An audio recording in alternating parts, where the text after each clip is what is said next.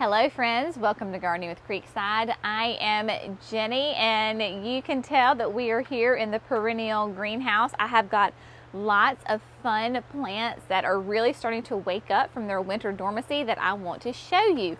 But before we do that, um, just go ahead and give you just a little bit of a, uh, get you caught up on some things that are happening here at the nursery.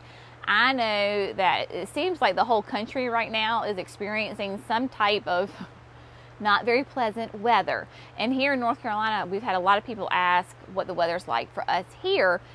We have had just tons and tons of rain. We are in the Piedmont of North Carolina, just west of Charlotte. So we have just gotten tons of rain and it's been really cold, but not too cold that we're having any kind of like snow or freezing rain. So praise the Lord, we do not have that. But it has been like yesterday we were working potting up some plants and we were working in the barn. And it, I think the high yesterday was like 34 and rain and it was just about one of the most miserable days of us working. But then last night I was all snuggled up on the couch and was just kind of scrolling through social media and I saw that some of our dear friends they live um, in Waco Texas and they are in the midst of getting hit with some horrible weather.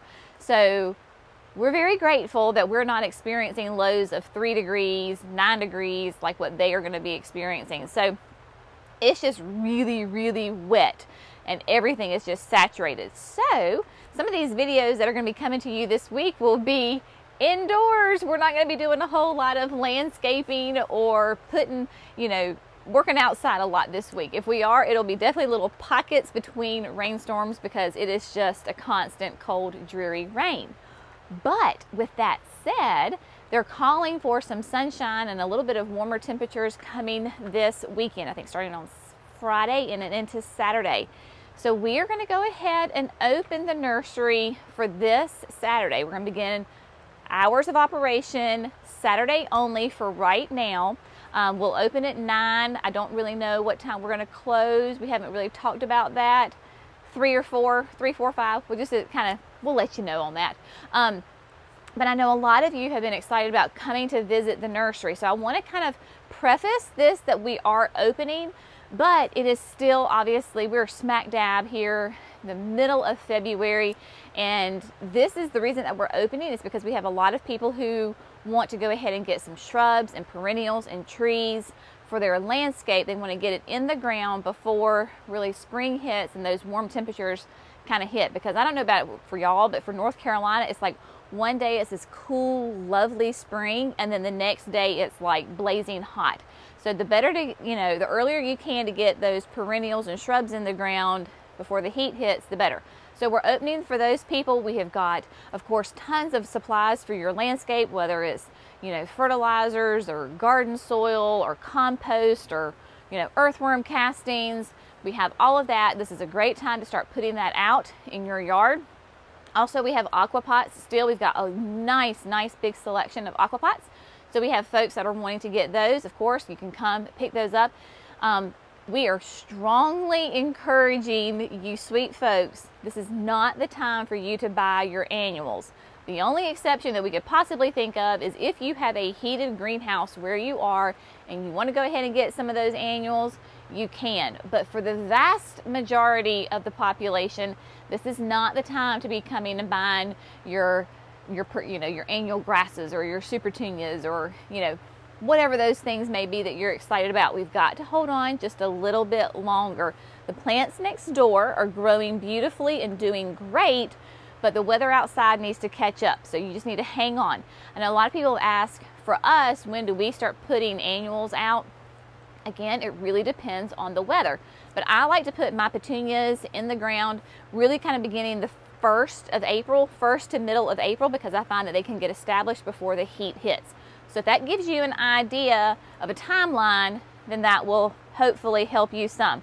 But for you local folks who are looking for shrubs, perennials, you know, supplies, all that kind of stuff, you can come see us this Saturday.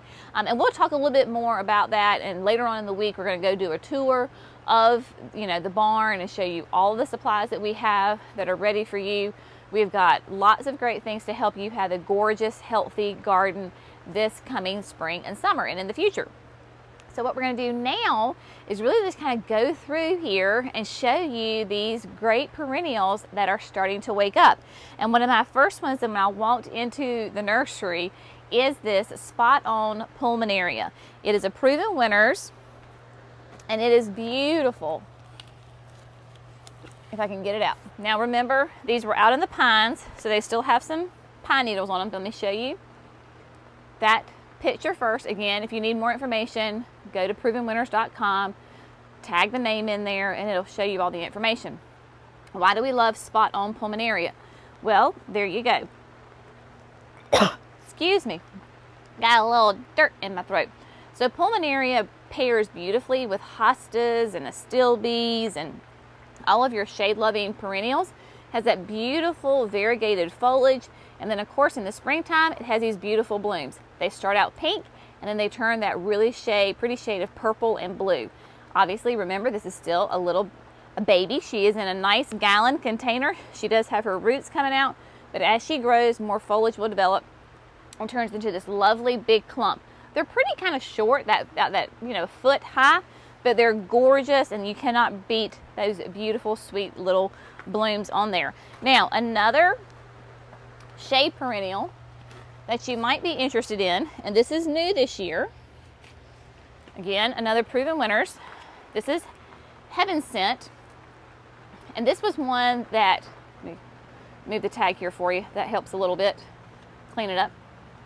Heaven Sent, again, is a lovely shade perennial. We are here in Zone 7B right on the border of it getting a little too hot. But look at that fine foliage. It looks very much like a fern to me. Very nice, soft texture. This is brand new, so let me look at it. So Heaven Sent is just a great perennial pairs beautifully with, of course, those hostas, those ferns, the brunaria, any of those things that you have. I love the foliage. If you can really see, it has that green with kind of that purple edging to it. Um, it it's just a beautiful plant. It is hardy in zones three through seven, so it's extremely cold tolerant. Again, like I said, for us here in the southern regions, you will definitely need, if it gets any sun, it could have morning sun, but no afternoon sun. And you definitely need to keep it well watered once you get into those hotter months in the summer. So July and August, you need to make sure that it stays well watered. But it's a beautiful plant, absolutely fantastic. Moving on down, this is a brand new one this year. So Proven Winners has two new phloxes. This is Opalescence. This is one of, I'm really excited about it. They sent it to us last year to test out. It was late in the summer when they sent it to us. Now again, it's just now coming out of dormancy.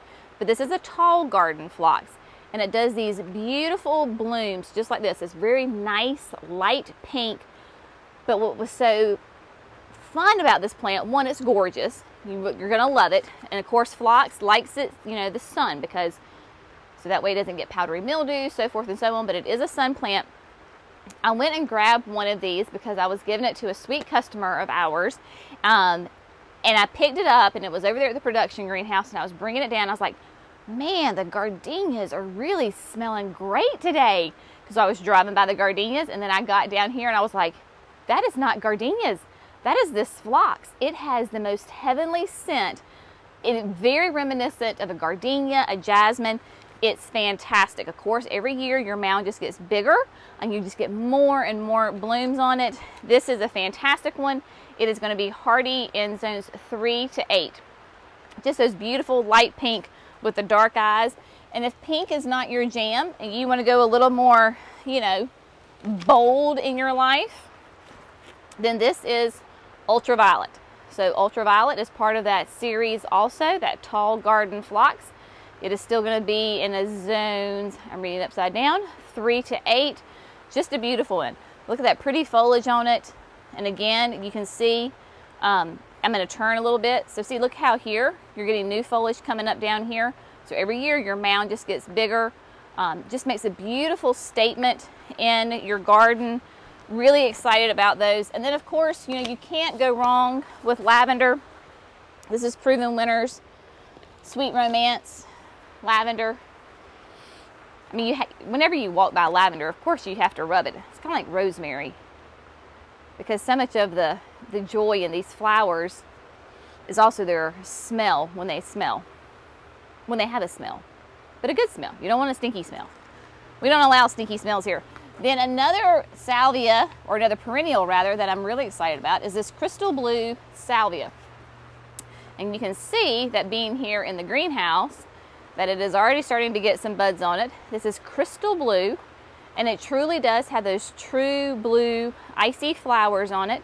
It is again going to be hardy in zones three to eight. So if you are in these nice hot southern climates, if you can get a little bit of an afternoon shade, that would be great.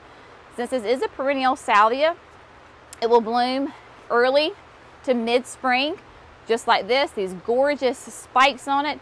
If you trim it back, then that encourages it to rebloom again. As opposed to like to an annual salvia that just keeps on, like your Rockin' series, those just keep on and keep on. This one is a, is a perennial, so you'll need to trim it back a little bit and then it encourages new blooms. But again, salvias are deer resistant because they are part of that mint family, and so they have kind of an herbaceous, minty smell to them, and they're kind of a rough texture, so deer do not like that. So if you do have deer problems, the perennial salvias are a great way to go. And of course, we have these in all sorts of gorgeous colors. So that was the Crystal Spires. Then we also have, this is so fun, Back to the Fuchsia. I tell you, those Proven Winners folks, they have some fun names that they give their plants. So back to the fuchsia, and you can tell it's a nice, gonna be a nice fuchsia pink. No buds on this one yet, but just beautiful foliage. It's just such a nice plant. You know, it's gonna be like two feet tall when you have your flowers on there. Again, that zone's three to eight. So perennial salvias are a great addition to put in your yard. They are um, really low maintenance. Bugs don't like them. Um, super easy. Now this is one too that I love. Azure Snow. Again, a nice crystal blue color on it. Same kind of, all of these kind of series, the plants in the series, they have the same characteristics, different colors. So depending on what color palette or what you need to add into your yard, then these are great. These are great in containers and in the landscape. So just as an FYI. And you might hear we have the, the heater on because, like I said, it is chilly. And um, sweet hubby said, I'll, I'll turn the heat on for you so you don't freeze today. So that's always nice. So if you hear something running, that's probably what it is. Now, one of my all-time favorite perennials is the Black Pearl Heuchera. If you don't have Heucheras in your life, then you need to add some. These do great in the landscape and in containers. Black Pearl is really unique in that it can do sun or shade. Um, depending on what your light is, it will either be a nice black color or it'll have a little bit of a purple hue to it. This is really neat. I know because a lot of times southerners have a hard time with heuchera. Sometimes they just kind of peter out and they don't survive year to year. A lot of that is because of our heat and humidity. The Villosa series is a species of heuchera. So the Villosa, V-I-L-L-O-S-A, Google it. It is a native heuchera to the southeast United States. So it handles our heat and humidity much better than other heucheras. Black Pearl is part of that. And we also have multiple other heucheras that are part of that Villosa series. So when we were, or species rather, not a series, species, when we were placing our plant order back at the end of the summer, I specifically was looking for those Villosa type plants so that they would do well in our gardens. So as if we come across them, I will try to point out that these are Villosas so that if you are in the southeast or the south where it's hot and humid, these work great. Um, I love putting them in containers as a bright, you know, a nice color contrast to something that's like lime green. I mean, this would be gorgeous. Look, black pearl with one of those salvias because you have the dark of the black pearl, which is a nice mounded habit. And then you've got the salvias or the nice green and then the flower blooms that are an upright. So this would be really, really pretty together. So these black pearls are so versatile because they can do sun or shade, container or landscape. And they are semi-evergreen. So meaning even in the wintertime, like right now, there's foliage out there so they don't completely disappear like a hosta, but just know it's not going to be like in primo shape.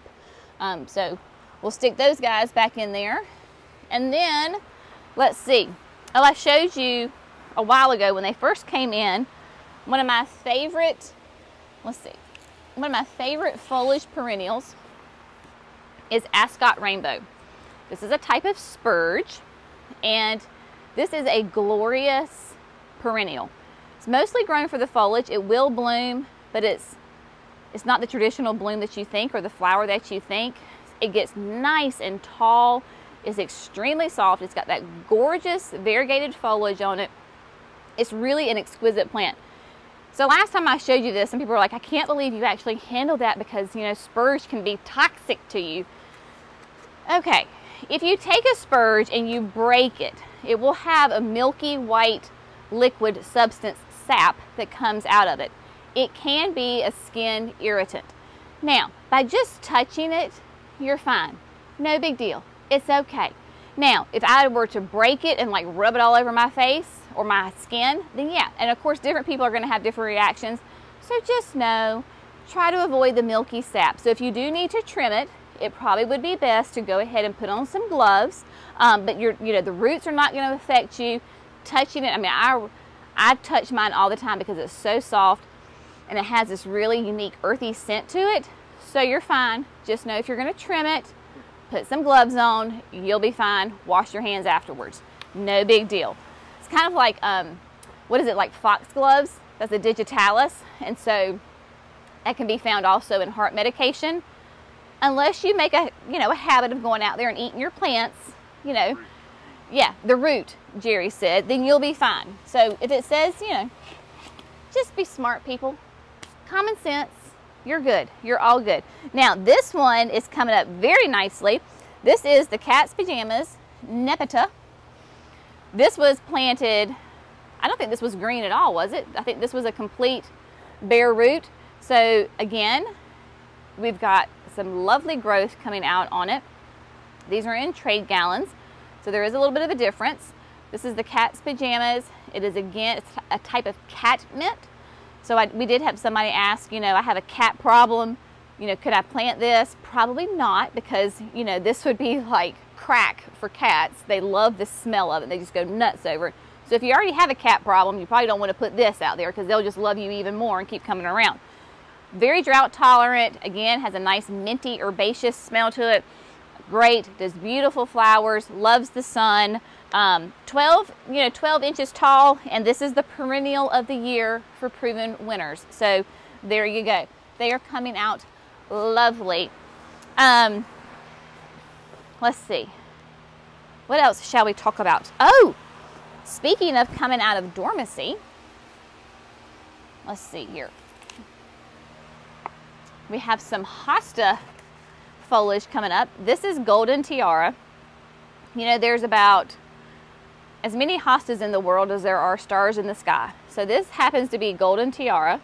It's a non-branded material, meaning that it's not associated with a, you know, like a, a plant brand name like Proven Winners. This is a great one because it's kind of on the petite side. It's only 15 inches tall and it has that beautiful variegated foliage. But I just love when the hostas start coming up out of the ground. Like whether it's in the greenhouse or out in your landscape, because especially in the landscape, when you see hostas coming up, you know that spring is just around the corner. So we don't have any hostas coming up outside yet, but seeing it in the greenhouse still does really evoke those same feelings. So again, hostas, if you have shade or you have morning sun and then you have afternoon shade, hostas are great for that. You know, in our shade garden, the video that we did multiple times last year, we did tours going through there. It's like if you like a hosta, just get get them of different shapes, different sizes. Some are very like vase-like where they go straight up and then come out.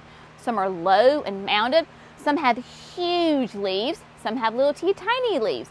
So you could have just a hosta bed, just a flower bed of nothing but hostas, different shapes, textures, and colors, and it's stunning. So don't think, oh, well, I only have shade and I can't have a beautiful garden. No, yes, you can. You just kind of have to switch your brain just a little bit and think a little bit differently. So I love a good shade garden. I think they are gorgeous. And then speaking of, come on down here.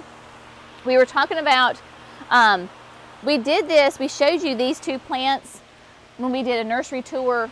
It was only like, what, a week, two weeks ago, I think? It wasn't that long ago when we planted these. So let me show you. This is Wildberry. It's a proven winners one.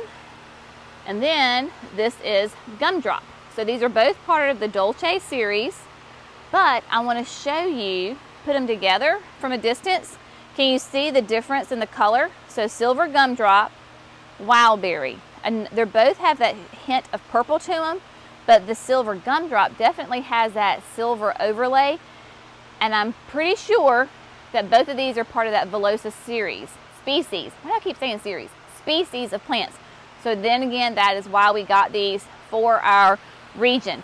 They will do great, again, landscape, containers, um, you name it, you can put it there pretty much. Now, those are gonna be, the wild berry is gonna be sun or shade.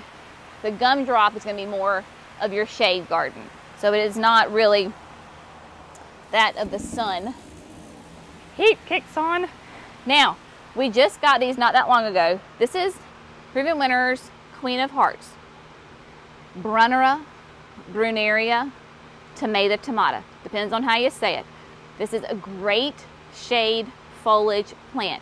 It pairs beautifully with those hostas. It is deer resistant because I don't know if you can see with this camera, it has little hairs all over it. So it is a hairy leaf to it, has a lot of texture. Deer don't really like it because it's kind of rough on their tongue, but it's this beautiful silver and green leaf they do these gorgeous little teeny tiny spikes of true blue flowers. Positively exquisite. Now again, this is a little baby plug. They will get nice and big as the years go on. In the winter, they do die back, but I have found that it's a, you have to have a really hard, hard freeze to kill it back. So in our shade garden, everything else was gone. The hostas, the astilbes, ferns, everything was gone. But my brunaria still looked really good, so I left it. it is now since the foliage has all died, but it comes back every year just bigger and prettier every year, very much like your hostas do. So this is a great one. Again, that shade garden, not really tall, but nice and wide and fat. Really nice. Let's see, what else do we have in here? Um, the daisies are coming up pretty good. The um, what's the stuff called? Baptisia is just starting to show a little bit of life coming along. Grasses are coming up just nicely. This is blue whiskers. I love blue whiskers. It is a fescue grass. Um, nice and petite. You can tell how it got its name. It likes it nice and sunny and on the dry side. I planted this in our cottage garden. It got way too wet and it did not survive. So it really likes to be on the dry side. So if you have a sunny, dry spot, this would be a great one. And it just brings a beautiful blue-green pop of color to your space, nice and short. So it would be great. It's an edging in the border or even in a container. You could use that that way too. Um, I think, oh no, oh goodness. I got so dis distracted looking at these plants that I forgot about these plants over here. So this is a new one for us because my dear sweet mama, Mimi, you've seen her on some of the videos, um, they live just really close to us, but she lives under pine trees.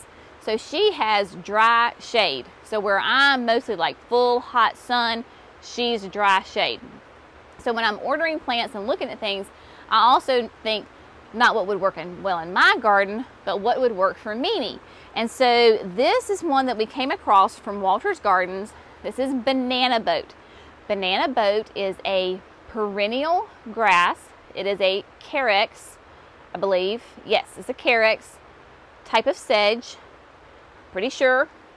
Um, I've been doing research on this and it is going to be a part shade to full shade, meaning morning sun but afternoon shade. In the winter, it completely goes away. But look at this new gorgeous foliage that is starting to emerge. It is this electric lime green with this dark green edging on it. Banana boat is going to be only 6 to 12 inches tall. and hardy in zones five to nine. It will do a little bloom late in the spring, and of course you can pair it with your hostas, your ferns, your brunaria. Just, it just, and it slowly creeps into a dense, nice mound. So if you leave it there for a couple of years, it just gets nice and big and spreads. Of course, if you want to divide it after a couple of years, you could do just like a hosta where you split it down in the fall, cut it in half, and you can divide it out this way. But I am super excited about this. When I showed my mama, she loved it. So this is a really neat one, banana boat. I have a special um, project that I'm gonna be doing with shade perennials and I need a pop of color. So I think this is gonna be the pop of color that is gonna go into that container that we'll show you in a couple of weeks. Um, I think that is it for right now. Um, the rain continues to fall for all of you, whether you're getting pounded by snow or really brutal cold temperatures, or maybe you're just like us and you're about to get washed away.